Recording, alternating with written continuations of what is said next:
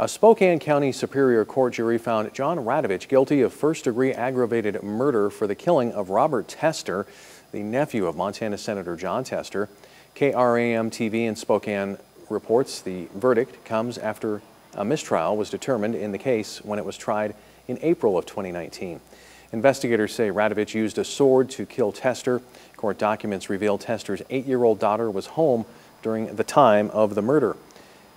Several times that night, Tester's daughter tried to call family numbers but couldn't get a hold of anyone until the next morning. Radovich's sentencing is set for October 18th. The prosecutor in the case says she'll be recommending a life sentence without the possibility of parole.